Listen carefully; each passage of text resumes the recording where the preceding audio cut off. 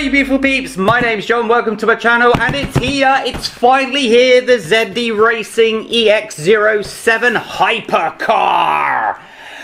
And you may notice I'm a little bit excited. I'm almost like shaking. This has been a car that I've been looking at about six weeks before any YouTuber got their hands on it, thanks to one of my channel members saying, you should take a look at this car. And as soon as I saw the car, I'm like, I want it. And I begged and pleaded and groveled with Banggood. And they're like, oh no, we can't. It's too much money. Oh no, we can't, we can't. Which I do understand. However, thanks to their kindness, thank you Banggood they gave me something like 60% off and free shipping and trust me when I say shipping was expensive. And it's finally here. Thank you Banggood now it took a while to get here. It took them three attempts to get here. It was sent out returned sent out returned and then it finally got here. So if you are thinking about purchasing this car it does take a bit of hassle to get to you but from what I've seen it's worth it Let's get into the box. Can't wait.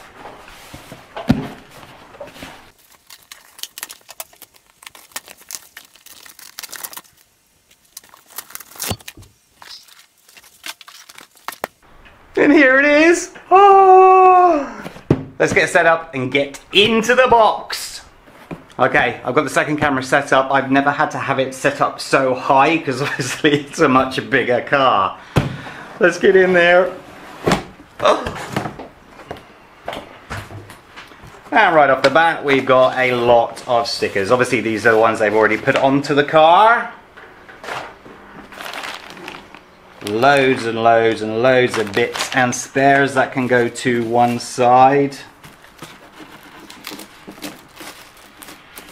Hmm. Battery charger, I mean obviously this has taken a beating along the way. Controller instructions. Uh, I think we just get the car out because let's be honest, that's what we all want to see. Oh no!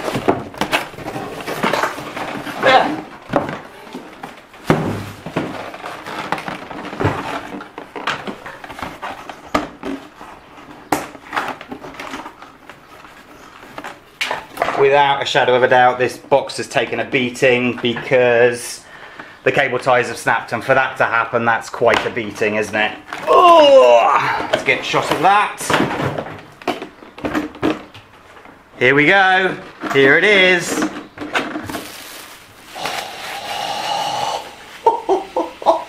Oh my god! Oh my god! Ta-da! We can fit one, two, three of these in there. Unbelievable. So, what do you think? Look at the size of this beast. Wow. How much of it is in? Not, not a lot of it, unfortunately. Oh no, we've got some damage, do we? No, maybe not. I don't know. Just badly cut, I think. Okay, excuse me a second. I am going to close the door because they've obviously started to drill as I started to record. Okay, firstly, right off the bat, my first impressions are A, you see the size of it, but B, the weight of it. It is significantly heavier even than the Cheetah and the uh, ZD Racing BX 8E, which is to be expected, it is a 1 7th scale. Um, I'll give you some stats now. I've actually got them written there to ensure that I do not mess up. Those of you that know my channel know that I do have a problem remembering sometimes, mostly all the time. It's uh, 740 millimeters long, 413 millimeters between the wheels. Wow, that's a lot, isn't it? Uh, 345 millimeters wide and 196 millimeters high. As I said before, a 1 7th scale. Let's get into it. I've, I've got to see what this looks like with my own eyes.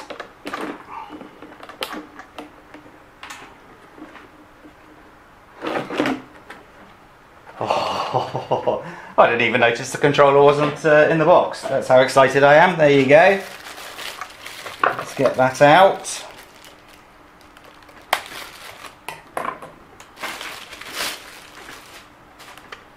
Yes, this is exactly the same controller as on the BX8E, the ZD Racing controller there. Put that to one side. I don't want your view to be hindered in any way. Right, let's get this down.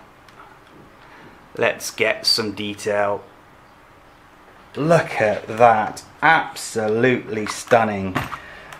I mean, I... shaking a little bit.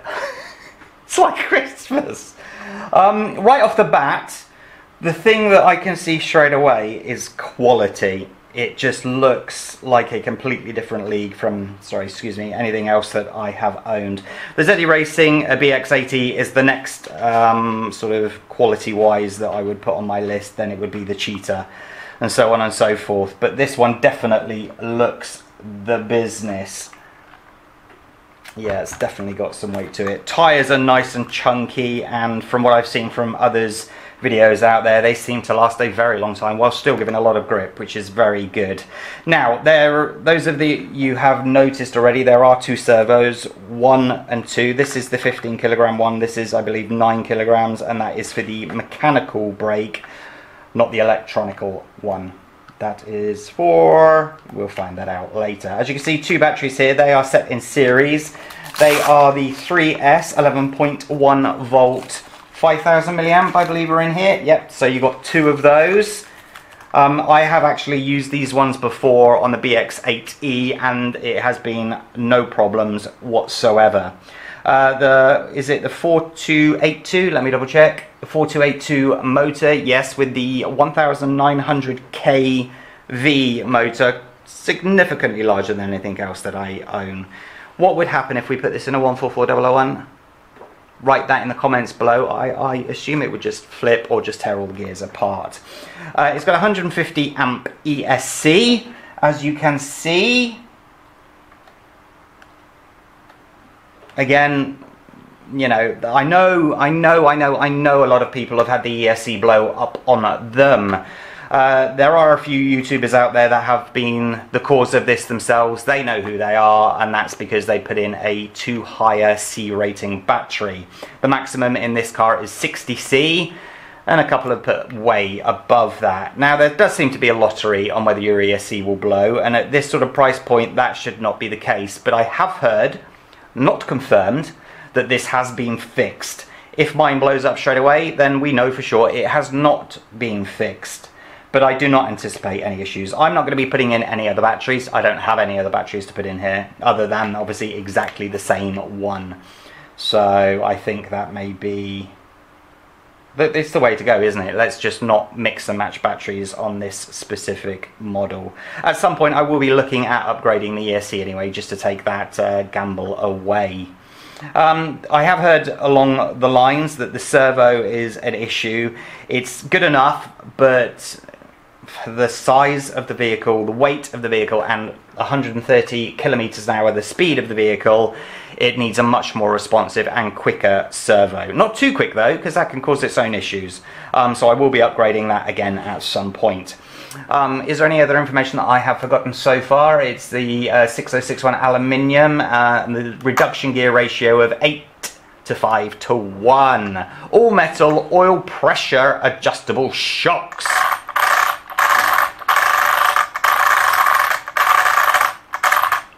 Does that sound right to you, you guys? Write in the comments below because I'm not going to be driving this for a little bit. Um, it's actually going to be delayed, uh, the driving of this, because I'd organised a bit of an event. Not, not an event, so to say. Uh, a FPV pilot, uh, a very good FPV pilot in this country, uh, had agreed to record this car um, while I was driving it for the first time, but has been stuck in a foreign country, and we don't know when they will be back. So if you live in Malta and you're a good FPV pilot, hello, give me a call. We need to meet up in Ta' Qali. Uh, there's pretty much only one place I can drive a car of this speed, and that will be up in Ta' Qali in Malta, and that is just because of the bonkers speed of it. Uh, it does handle um, rough roads very well from what I've seen. It's nothing that you would ever consider taking to gravel. If you do, you're a very bad person. Um, but it does have some suspension there, but not a huge amount, let's be honest. Um, and I, I, I, personally definitely would not do that. Um, there's a couple of people that are going to be meeting me on the uh, excited people to uh, see this run for the first time, um, which again, I'm extremely excited to get it out there. But I'm not gonna rush this video out, so just to let you know, it will be out when it's out. I wanna make sure that this is one of the best videos that I can make. Uh, and if you live in Malta and you're a good video editor, again, please contact me. I need some help. Um, the car itself, I, I have to say, impressed is not the word for it. I am in awe of this thing. I'm thinking about the amount of money that you pay full price, 640 US dollars. I just checked downstairs today. I paid 324. 324 US dollars for me is a huge amount. So the 640, I understand for a lot of people out there is either out of your price range or you'll be saving for a very long time. Um, I know how lucky I am, and I am, as I said, very, very thankful for that. Uh, but from what I've seen, from the speed that you get from this, and from the just quality of the thing, it, it's worth it, isn't it? Oh my god. Um, I'm not going to plug it in now. I'm not going to run it now because I am going to just go through, double check with the um, screws, bolts, and I am going to balance charge both charge, uh, both batteries just to ensure that they are okay because apparently that has been an issue. As you can see, this is plugged in. Shouldn't really uh, be plugged in for the journey. That's not really, it wasn't even pushed in, you know, 100%. So, you know, I don't think that's very good as far as fire hazards are concerned. Um, I, I think going by the comments, certainly on the Facebook, that there's several people out there that are excited to see this car run. And you know, I'm I'm not saying that I'm going to leave it for several months and then get it out there. I am going to do it as quickly as I can and organise it as quickly as I can. We have in fact just received an FPV drone from Banggood uh, to review. Again, thank you Banggood. Um, but myself and my skills and Colin and his skills, we just don't have it to be able to you know follow a 130 kilometer an hour RC car, especially as there's going to be a few people around there as well. So, ladies and gents, what do we think? Oh, aha, yes, these are for the rear lights, front lights. They weren't plugged in. Um, before I leave this video, I am going to take this and do some close-up for you.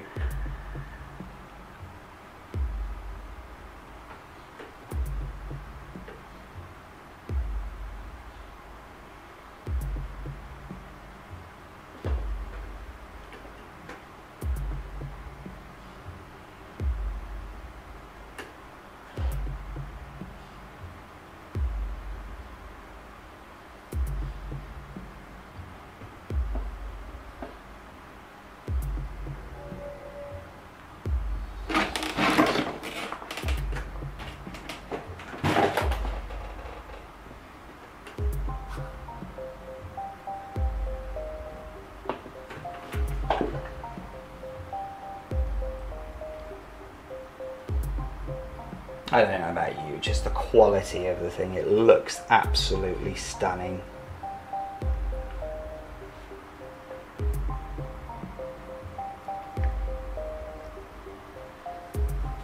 Obviously this is nothing that I'm going to run on my roof here.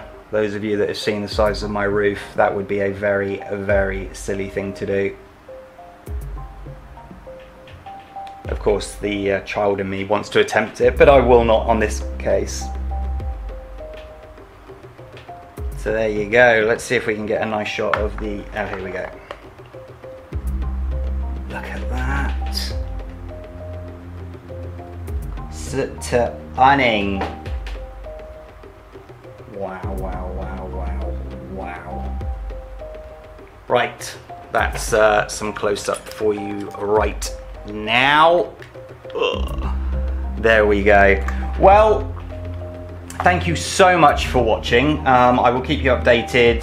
I will let you know as soon as we're out running this for the first time. Um, I do update my Instagram, so those of you that haven't seen the Instagram, uh, my Instagram, please go across there. I update it with several things that I'm doing for the channel, and we will get it done as soon as we can. Thanks for watching. Hit that like button, subscribe to the channel, and I'll see you next time. Take care. Bye-bye.